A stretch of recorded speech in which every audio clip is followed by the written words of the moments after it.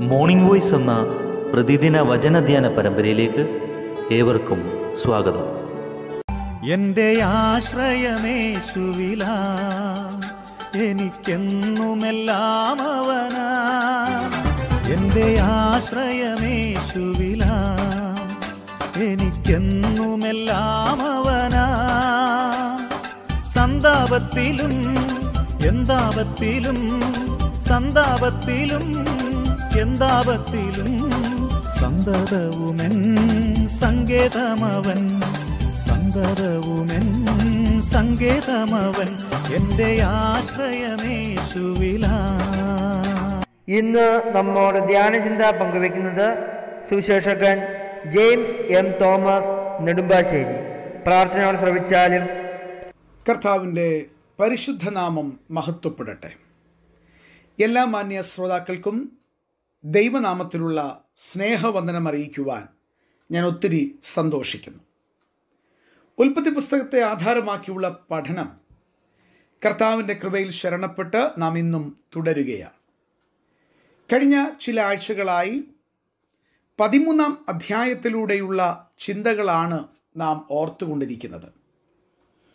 അതിൽ നമ്മൾ അവസാനം ഓർത്ത് നിർത്തിയത് ദൈവമനുഷ്യനായ അബ്രഹാമും അദ്ദേഹത്തോടൊപ്പം യാത്രയിൽ ആദ്യം മുതൽ ഉണ്ടായിരുന്ന ലോത്ത് എന്ന മനുഷ്യനും തമ്മിൽ വേർപിരിയുന്ന ചിത്രമാണ്.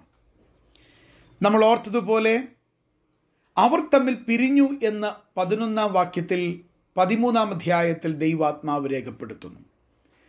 എന്നാൽ നാം ഓർത്തത് ഒൻപതാം വാക്യത്തിൽ പിരിയാനുള്ള തീരുമാനവും ആഗ്രഹവും പ്രകടിപ്പിച്ചത് ദൈവത്തിന്റെ സ്നേഹിതനായ അബ്രഹാമാണ്.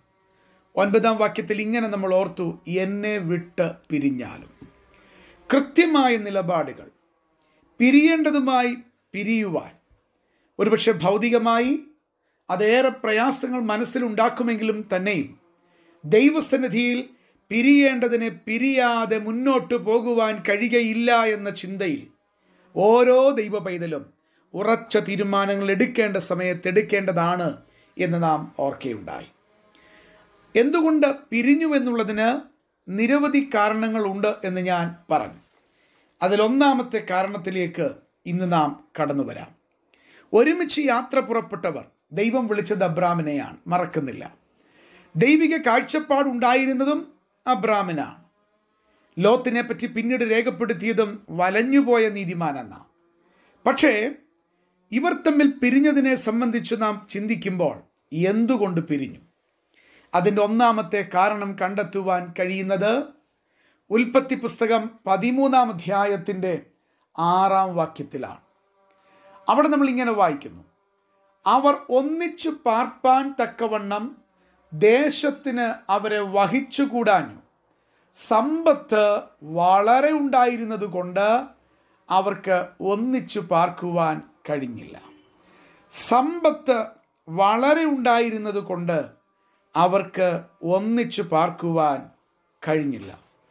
ഇത് മറ്റൊരു തലത്തിൽ ചിന്തിക്കുമ്പോൾ ഏറെ ദുഃഖമുണ്ടാക്കുന്ന ഒരു വസ്തുതയാണ്. അവരുടെ സമ്പത്ത് ധാരാളമുണ്ടായിരുന്നു. ദേശത്തിന് വഹിച്ചുകൂടുവാൻ കഴിയാത്ത നിലയിലുള്ള സമ്പത്തിന്റെ ഉടമകളായിരുന്നു അബ്രാമും ലോത്തും. പക്ഷേ ആ സമ്പത്ത് നിമിത്തം അവർ പിരിയേണ്ടതായിട്ട് വരുന്നു എന്നും ഒരു തരത്തിൽ നമുക്ക് മനസ്സിലാക്കാനായിട്ട് സാധിക്കും. നമ്മുടെയൊക്കെ പിതാക്കന്മാരുടെ കാലഘട്ടം അനേകർക്കറിയാം. പുതിയ തലമുറയായ നാമൊക്കെ അത് കേട്ടിട്ടുണ്ട് മനസ്സിലാക്കിയിട്ടുണ്ട്. അവർക്ക് പല സമ്പത്തിന്റെ അപഹാരങ്ങൾ ഉണ്ടായിരുന്നു. പ്രത്യേകിച്ചും കർത്താവിനെ രക്ഷിതാവായി സ്വീകരിച്ച് അവരൊക്കെ മുന്നോട്ട് വന്നപ്പോൾ ഭൗതികമായി ന്യായമായി ലഭിക്കേണ്ടുന്ന ഭവനങ്ങളിലെ സ്വത്ത് പോലും ലഭിക്കാതെ ഇറക്കിവിടപ്പെട്ട അനേകരെ സഭയുടെ ചരിത്രത്തിൽ നമുക്ക് കാണുവാൻ സാധിക്കും.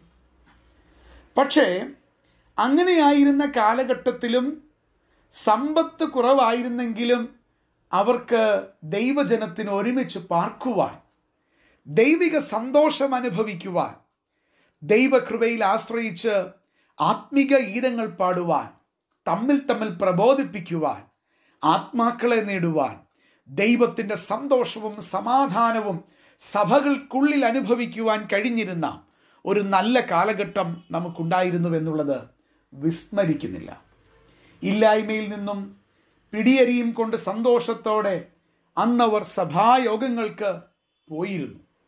ദൈവദാസന്മാരും ദൈവമക്കളും ഭവനത്തിൽ ചെല്ലുമ്പോൾ സ്വന്തം വയർ മുറുക്കി കെട്ടി കുഞ്ഞുങ്ങൾക്ക് പോലും കൊടുക്കുവാൻ കഴിയുന്നില്ലെങ്കിലും വന്നവരെ ദൈവദൂതന്മാരെ സൽക്കരിച്ചിരുന്നവരായിരുന്നു.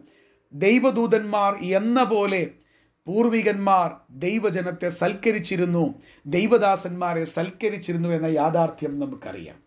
സഭായോഗങ്ങൾ കഴിഞ്ഞാലും പിരിഞ്ഞു പോകുവാൻ മനസ്സില്ലാതെ ആത്മീക സ്നേഹത്തിന്റെ തീക്കനൽ ഹൃദയത്തിൽ കൊണ്ടു നടന്നിരുന്ന ഒരു ഉത്തമ തലമുറ നമുക്കുണ്ടായിരുന്നു. എന്നാൽ ഇന്തോ ഇന്നോ സമ്പത്തേറെ ഉണ്ട് സൗകര്യങ്ങളേറെയുണ്ട്. പക്ഷേ അതേ സമ്പത്ത് തന്നെ അനേക ഇടങ്ങളിൽ പിരിയുവാൻ കാരണമായതും നാം കണ്ടുകൊണ്ടിരിക്കുക അല്ലലും അലച്ചിലും നാണയത്തിന്റെ മൂല്യമൊന്നും അറിയാതെ വളർന്നു വരുന്നൊരു തലമുറയാണ് ഇന്നുള്ളത്. പ്രിയുള്ള പ്രിയമുള്ളവരെ ഞാൻ ആരെയും വിധിക്കുകയല്ല. പക്ഷേ നമുക്ക് ദൈവം തന്നിട്ടുള്ള സമ്പത്ത് കൊണ്ട് ദൈവം നമ്മളെ നടത്തിയ വഴികൾ മറക്കരുത്. നാം തമ്മിൽ പിരിയുവാൻ ഇടയാകരുത്. പ്രിയമുള്ളവരെ ഇവിടെ ഇതാ കാണുവാൻ സാധിക്കുന്നത് സമ്പത്തേറെ ഉണ്ടായി. ഇവിടെ ഇതാ ലോത്തും അബ്രാമും തമ്മിൽ പിരിയുകയാണ് ദൈവജനത്തിന്റെ മധ്യയിൽ ഒരിക്കലും പിരിയാൻ കർത്താവ് ആഗ്രഹിക്കുന്നില്ല. ദൈവസ്നേഹത്തിൽ ഏക മനസ്സോടെ നിലനിന്ന് കർത്താവിന്റെ നാമത്തിന്റെ മഹത്വത്തിനായി ചിലത് ചെയ്യുന്ന അനുഗ്രഹീതമായ ഒരുമയുടെ ഏക സ്വരത്തിന്റെ ഏക മനസ്സിന്റെ ഐക്യതയുടെ ജീവിതമാണ് കർത്താവ് ആഗ്രഹിക്കുന്നത്. ഈ സമയം ഒരു പുനർവിചിന്തനത്തിന് നമുക്കിടയായി തീരട്ടെ. നമുക്ക് തമ്മിൽ പിരിയാതിരിക്കാം. ദൈവകൃപയിൽ ശരണപ്പെടാം. ഒരേ സ്വരത്തിൽ നമുക്ക് കർത്താവിനെ മഹത്വപ്പെടുത്താം. ഏക ശബ്ദത്തിൽ യേശുക്രിസ്തുവിനെ നമുക്ക് ലോകത്തിൽ ഉയർത്തി കാണിക്കാം. അതിനായിട്ട് ദൈവം നമ്മളെ ധാരാളമായി സഹായിക്കട്ടെ. ദൈവനാമം മഹത്വപ്പെടട്ടെ.